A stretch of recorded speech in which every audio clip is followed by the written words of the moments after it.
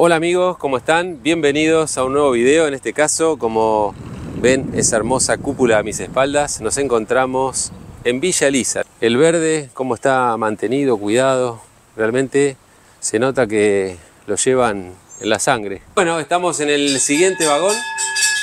Suena la campana y...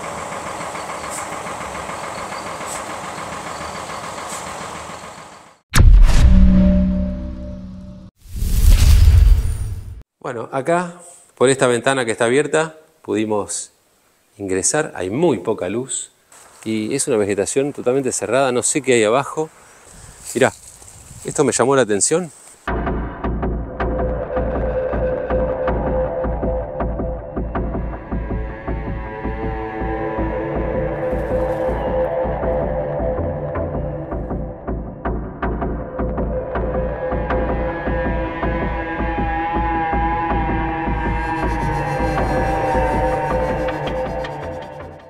Bueno, encontramos la escuela abandonada, otra escuela abandonada, tal como ya lo vieron en video, un video anterior del canal. En este caso, la Escuela Nacional 125 está en un camino entre Villa Lisa y Colonia Ocker. Nos avisaron de ella, de turismo, de Villa Lisa, y logramos encontrarla. Mirá, acá te comparto las primeras imágenes de esta escuela. Escuela 125 que está abandonada, no se sabe desde hace cuánto, pero bueno, te la vamos a mostrar. Acompáñame, vamos a ingresar y a ver qué podemos mostrarte de esta hermosa escuelita abandonada. Acá estamos en la galería de la escuela 125, Escuela Nacional, como te decía, 125, entre Villa Elisa y Colonia Ocker, un camino interno. Mira lo que es esta galería, vamos a recorrer un poquitito y te voy a mostrar. Acá tenés, por ejemplo, uno de los pupitres de la época. Fíjate lo que es el pupitre de la época. Y vamos para aquel lado y te muestro un poquitito más. Acá tenés otro pupitre. Fíjate que esto está dentro de la galería. Acá tenés el pupitre. Acá se dejaría la lapicera. Esto creo que era para la tinta china que se ponía el tinterito.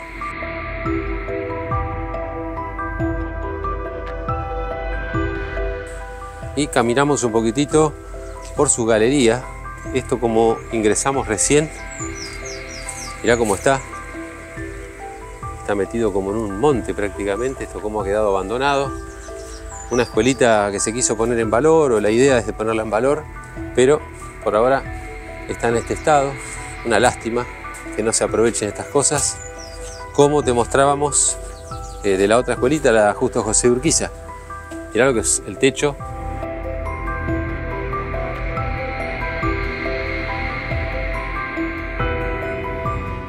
Estoy bordeando la galería, pero cuesta llegar porque ha crecido toda la vegetación acá a la vuelta y la verdad que cuesta llegar. Está cerrado aparentemente, estoy dando la vuelta para compartirles alguna cosita más que se pueda ver de la escuela. Esta es la parte de atrás, mira. Cuesta llegar, está pegadita al camino que te digo que va a Colonia Ocker, pero cuesta llegar porque está así. Mira lo que es la vegetación.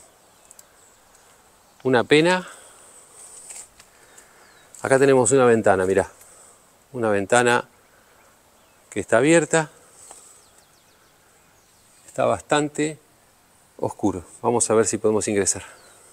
Bueno, acá, por esta ventana que está abierta, pudimos ingresar. Hay muy poca luz. Ahí se ven como unos panales de avispas, de abejas. Pero mirá cómo está. Espero que se vea algo. Están los pupitres tal cual, como que si estuvieran en clase. Y todo como lo ves. Esta puerta que está cerrada. Mira acá, carteles.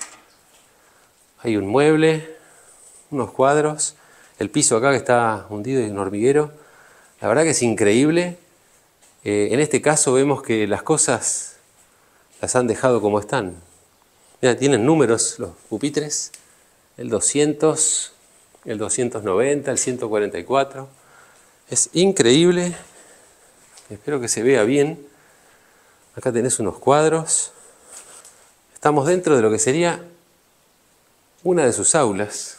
Acá ves otra ventana. Mira lo que es para afuera.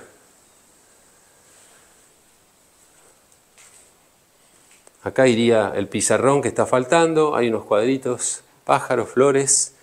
Mira lo que tenés acá. Unas pinturas. Oh, acá está Sarmiento. Increíble ver esto así. En este estado. Fíjate el techo con madera. No sé si se apreciará. Acá estamos en el frente del aula.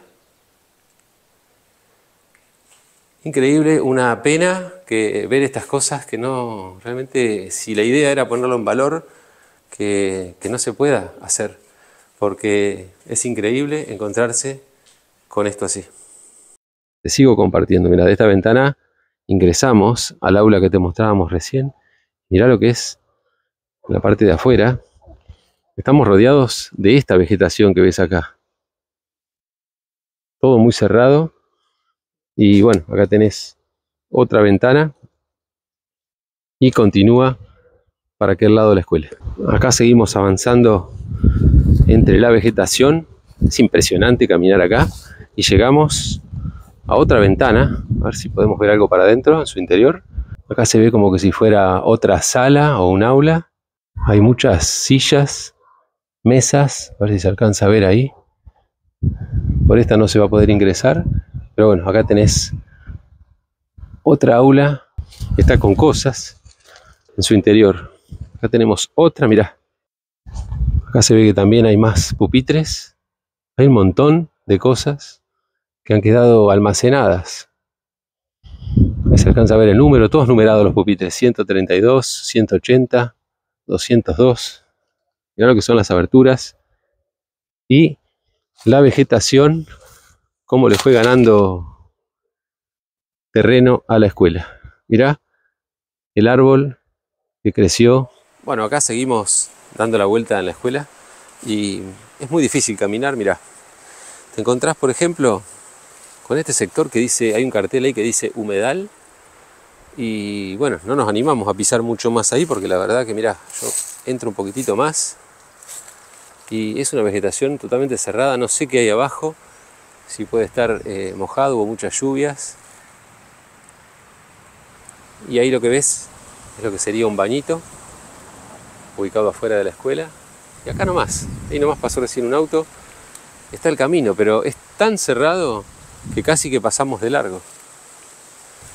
Está prácticamente que si no venís mirando hay un barrio industrial acá pegadito y enseguida está la escuela. Mirá, esto me llamó la atención ya lo que es ese tremendo árbol, un pino, que sale desde la carga de la escuela. Y fíjate cómo la agrietó, lo mismo que se ve acá, cómo está todo agrietado. Ya le han puesto acá unas varillas, unas planchuelas metálicas como para evitar su derrumbe. Pero ingreso por este costadito, muy difícil caminar, hay mucho viento. Pero mirá, Mirá cómo está el costado de la pared. Se escuchan ruidos, incluso acá a la vuelta, que no sé si es de esto que cruje. Mirá, el árbol creció en la carga. Te muestro para arriba a ver si se dimensiona. La verdad, queríamos compartirle esta escuelita que, como te decía, de turismo de Villaliza nos pasaron la información y nos pareció muy interesante compartírselas. Son cosas que a la gente le interesa ver, saber. Una lástima que no se haya podido, al menos, si era la idea que tenían, eh, realizarle la puesta en valor al lugar, como para que la gente venga a visitarlo. Esto se lo pueden prolijar bastante, mantener, que no se caiga y que la gente pueda venir. Están las cosas adentro, es increíble. O sea que da para hacer un lindo museo, que la gente venga, lo conozca, lo recorra y que no se caiga como esto. Mirá, yo te muestro cómo está el techo, está todo que se cae. Así que les compartimos de esta manera la escuelita y vamos a seguir con el recorrido por la zona.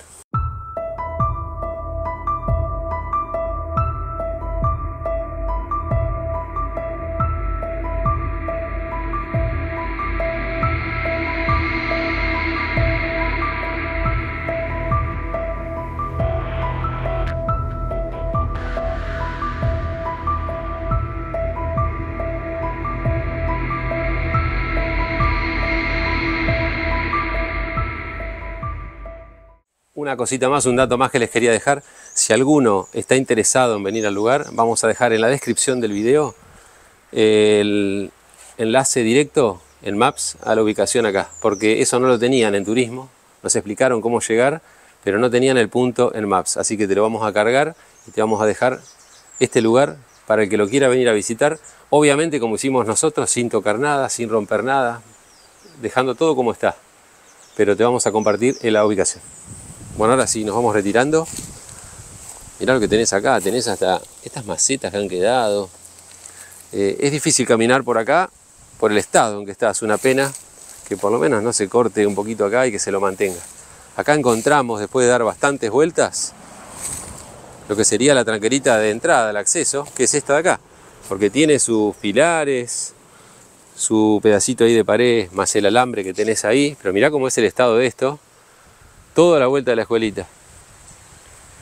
El árbol que te mostraba. Y encontramos esta puerta, que es la que sale al camino que te digo. Ahí nomás tenés, después de esta vegetación, el camino.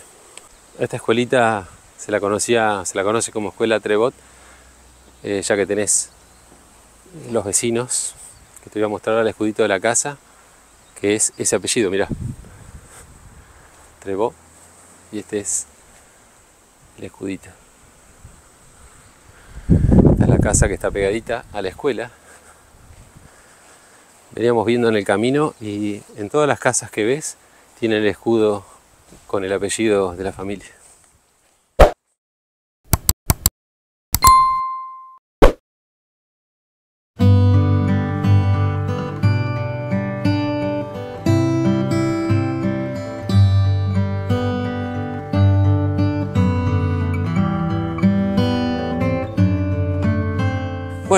Eh, estamos en el museo. Museo Estancia del Porvenir. Museo Estancia del Porvenir.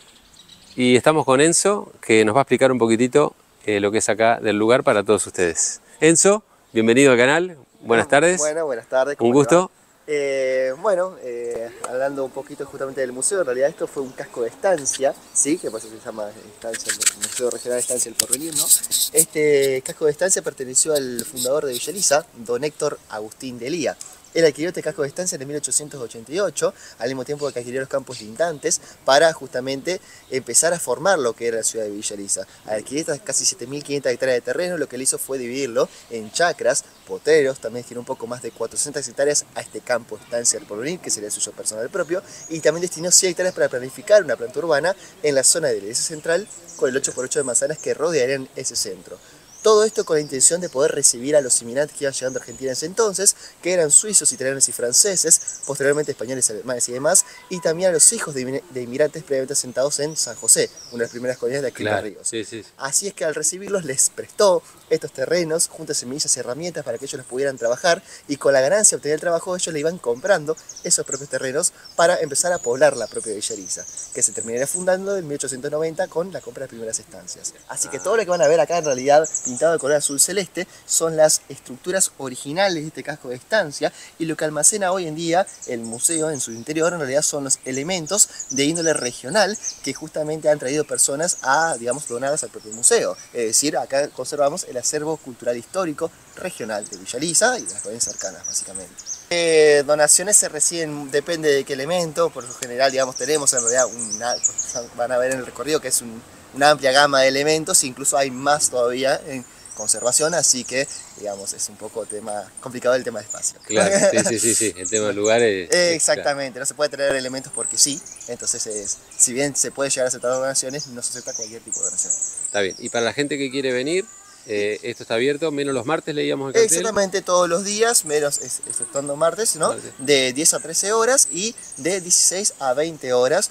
Eh, estando incluso presente los, eh, las visitas guiadas los días hábiles ah, por la mañana, a las 10 y 30 horas o a las 12 horas específicamente. Que el recorrido duraría entre 50 minutos y una hora más o menos de guiado. De guiado, está perfecto. Y la gente puede venir, bueno, abona la entrada 250 pesos. Ajá. Eh, si es menores tiene otro costo, es todo lo mismo. Si es menor, entre 6 y 12 años, de 200 pesos, los mismos jubilados. Y en caso de ser menores de 6 años o de presentar algún tipo de discapacidad, directamente nos abonan. No ¿algún dato? Eh, sí, después te doy ¿Tienen bien- redes? Sí, tenemos redes. eh, ¿Depende más de la municipalidad o tiene red específica acá del museo? Tenemos, o sea, nosotros en realidad dependemos de la municipalidad, pero tenemos una red específica, Específica de- del museo acá. museo en Instagram, por ejemplo, el Museo del Porvenir, eh, que si no estoy equivocado, Museo Villariza creo que se llama. Ah. Eh, pero después de última te paso bien. cosa. Bueno, después lo vamos a dejar. Bueno, Enzo, muchísimas gracias. Por favor, que disfruten el recorrido. Gracias, muy amable. Bueno, Enzo ahí nos explicó cómo es el funcionamiento, el lugar, para que todos sepan. Mirá, estamos recorriendo un poquitito. Estamos en una de sus galerías. Mirá qué lindo, nos llama la atención el techo. Hermoso el molino que tenés ahí a la entrada. No tiene las aspas, pero es toda la base del molino. Y bueno, un lugar que realmente es para recorrer, disfrutar del verde, hermoso verde que tenés, árboles, mira qué lindo este mate acá, un matecito, palmeras. Hoy es un día ideal, no hace tanto calor, hay una brisita fresca y espectacular para recorrer acá.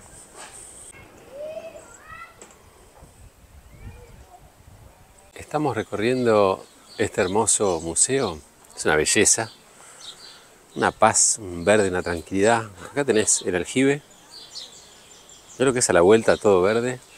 Esto sería la fiambrería. Fiambrera, recinto destinado a la conservación de los alimentos. Mira, los tarritos esos lecheros, ahí están los salamines colgados, los quesos, todo simuladito muy bien. Con esta, el mosquitero, para que no se le meta ningún bicho.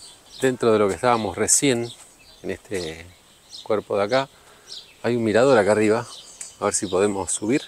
Mirador, dice rescate patrimonial del Mirador Museo Regional El Porvenir. Mirá, vamos a subir por acá, esta escalera que se ve. Así que acompáñenme, vamos al mirador. La verdad que está muy interesante el museo. Les recomendamos que se vengan a visitarlo. 250 pesos la entrada. Lo que son las aberturas. Está todo muy bien cuidado, muy bien mantenido. Lo que es el techo. Acá tenés un cuadro donde se ve el molino y la vista que tenés de acá. Y acá salimos, mirá qué lindo, un balconcito muy, pero muy lindo. Ahí está la fiambrera que estábamos recién. Y mirá realmente la vista que tenés. Ahí está el molino ahí atrás. Este es el sector que estábamos recién en su interior. Y el acceso, ahí donde está Enzo. Una belleza, todo verde, todo arbolado. La parte de juegos para los chicos. Mirá qué linda vista tenés desde acá.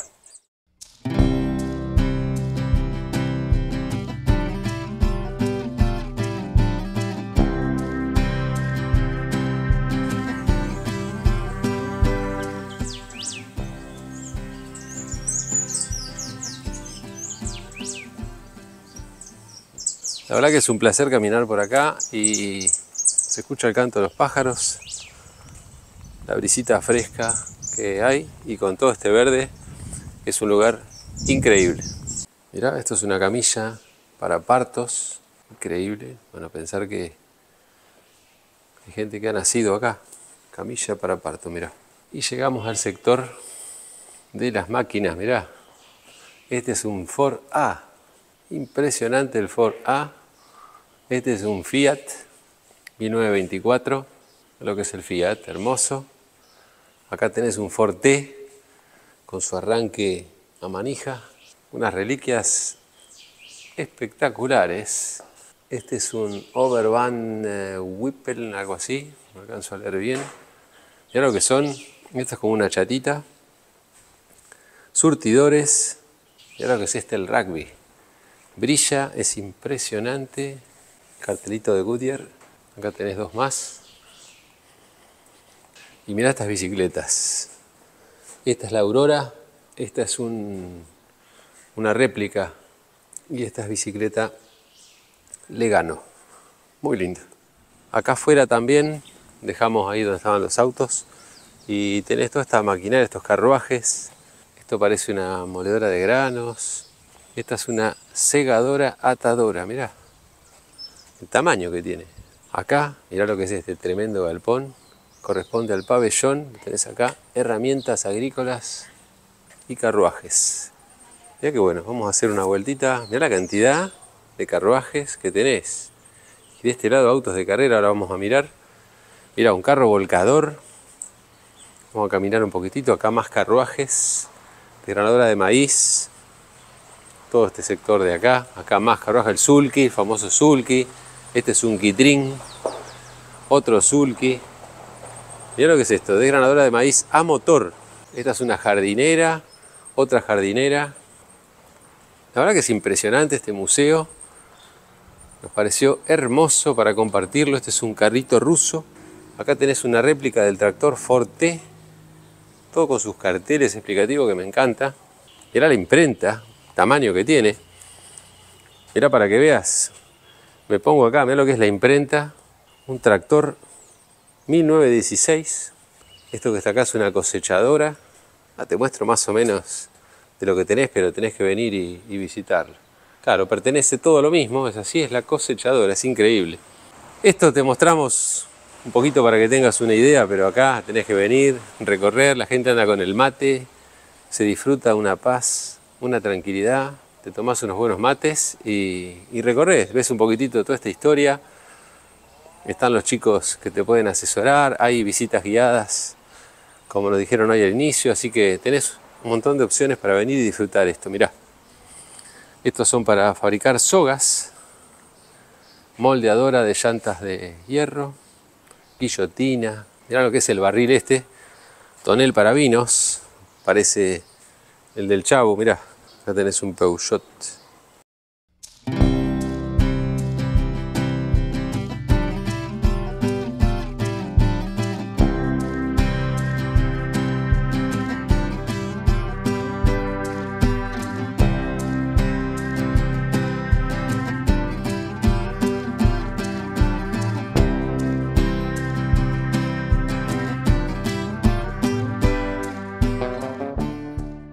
Esperamos que te haya gustado esta doble entrega, en este caso de Villa Elisa.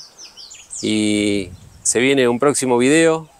También tenemos muchas cosas en carpeta muy interesantes. Calculamos que también van a ser dividido en dos por la cantidad de cosas que también hay en ese lugar. No te lo vamos a decir todavía, tenés que esperar.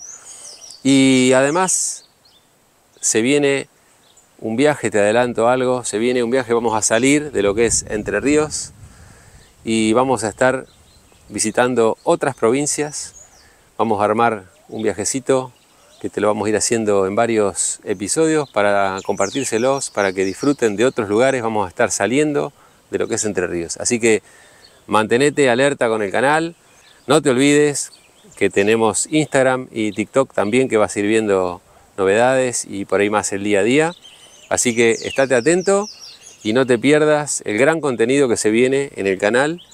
De acá para adelante, unos cuantos videos y contenido nuevo saliendo de la provincia de Entre Ríos. Así que para que disfrutes. Bueno, de esta manera, con esta tranquilidad, con esta maquinaria acá a mis espaldas, me voy despidiendo. El video llega hasta acá. Esperamos que les haya gustado.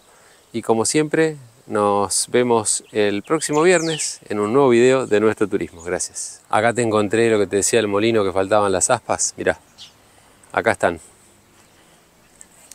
Ahí están las aspas que están acá abajo y el hermoso molino, su estructura, hasta allá arriba en el ingreso a este hermoso museo.